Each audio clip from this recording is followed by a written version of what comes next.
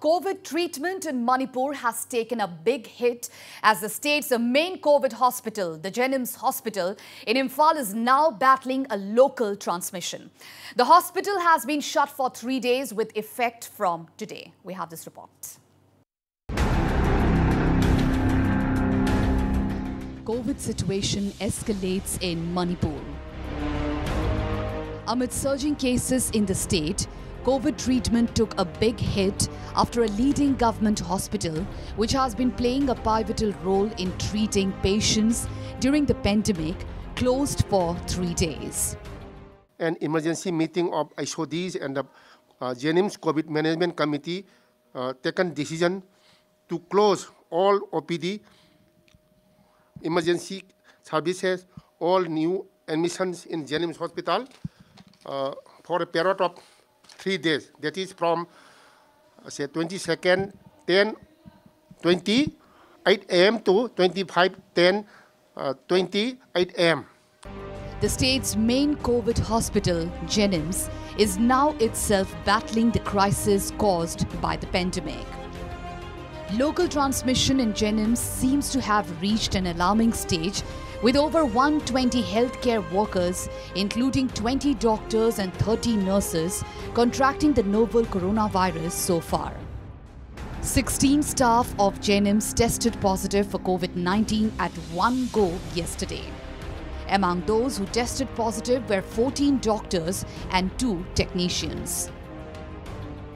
And uh, up to uh, say day before yesterday it was 127 now yesterday also about say about 20, uh, 25 have been um, uh, detected positive, COVID-19 positive. During this last, uh, last one, two, two weeks, the increase is, uh, say, 300 to 400, uh, say, and even, say, 450, say, more than 450 increases there. So, so that, that means the local, local spread, that local transmission of the disease is very much occurring in, in say, Manipur.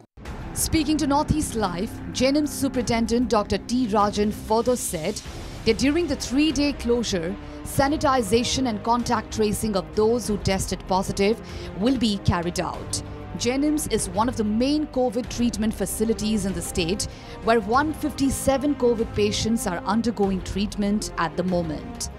So during this closing down period, sanitation process, fumigation and contact testing testing of healthcare professional uh, of all concerned wards, departments, hostels, casualty, OT, etc. shall be done.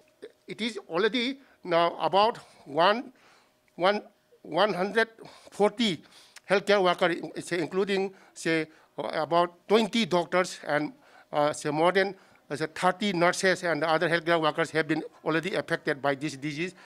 This development comes at a time when the Manipur government has already sent a proposal to the Ministry of Home Affairs seeking permission to reimpose lockdown in Imphal, citing a surge in COVID-19 cases. The state has sought the centre's advice on the feasibility of reimposing lockdown for 10 to 14 days.